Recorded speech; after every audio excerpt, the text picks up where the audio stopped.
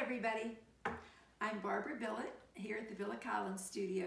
Today Kelly is filming and I'm behind the bar giving you information about gilding. Hey, you guys.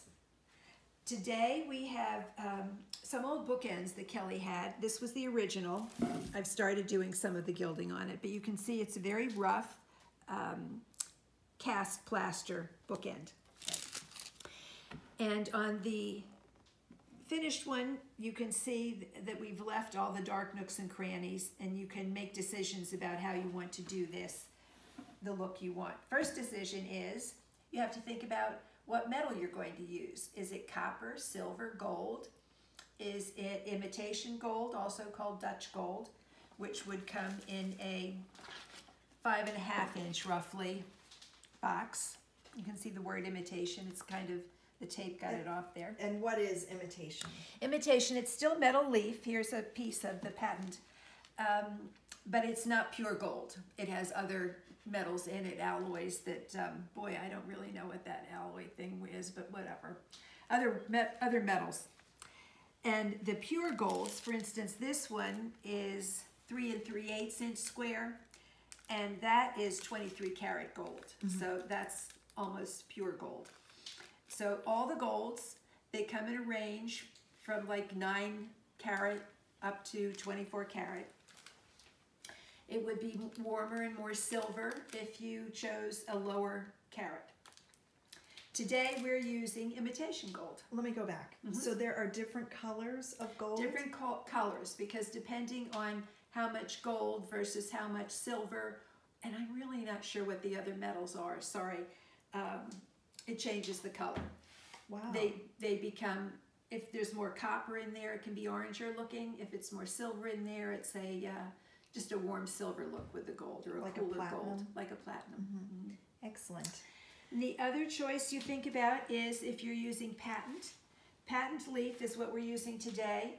It is stuck to, barely, this piece of tissue paper versus loose leaf that is in fact um, loose in here. Let's see if I can get one. We've used a lot of them. And that is much trickier to work with. So today, just for this, this is not attached to, um, to the paper. So you pull it out with your you, hands and put it you on? You actually use this gilder's tip. Oh. Typically, you would um, have something on your wrist that would give it some static Sticky? electricity. Oh. Yeah, which I don't have. I'm not prepared for that today, but these or have been sitting long enough that they don't have. You see people use their hair, uh -huh. a little oil in the hair. We'll show that on a different day. Okay. Today we're doing the patent. I have already applied sizing. We're not doing water gilding today. Water gilding is when you use an adhesive made from gelatin. But today we're doing an aqua size. And sizing means? Sizing is glue. Glue, okay.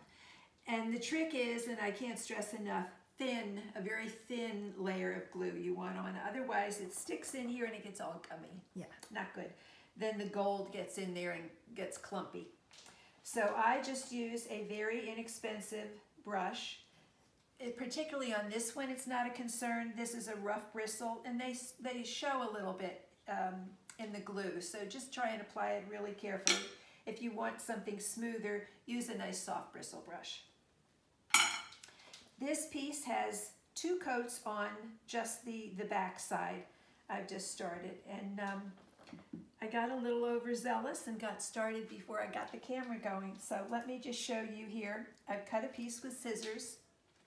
We're going to put it right on here and watch the, uh, just give it a nice rub with your finger. And then pull the paper back. Oh, and there it is. Wow. And again, a very clean, dry, soft brush. That's best to let it dry for maybe half an hour, an hour, really let it adhere, depending on the size of the piece before you start. The leaf, you will let it You let the leaf dry. Oh, uh-huh. Interesting. And um, you would wait, you'd finish the whole project. Right. And then give it, give it at least an hour. Uh -huh. You'll just be happier that way. And then brush the skewings off. I'm, I'm starting it now just to show you where I've overlapped places. Uh -huh. And there's no glue. Right. Yeah. And those little flakes are called skewings. skewings. And that's um, Awesome. So where else would you do some gold leaf like this? would be great on a piece of furniture. mm-hmm. You could do an inlay. You could do the feet. You could do carvings. Oh, the feet Um, would be cute. Be very pretty. You can think of um, ceilings, Mhm. walls. If you're doing something like that, you can get metal leaf and it comes in a roll, Oh, large, long rolls. Uh-huh. This particular one is aluminum leaf, Uh-huh. which looks like silver leaf, but much less expensive. And you can use that on your ceiling or your Nice. walls. And what about now this color of gold? uh, You know I love gold. Yeah, It's kind of new to me though. So this was me 2019 yeah. and this is me 2020. Um, but this is still kind of a little freshy for me. It what would you do? You can easily put a glaze on this to tone it down.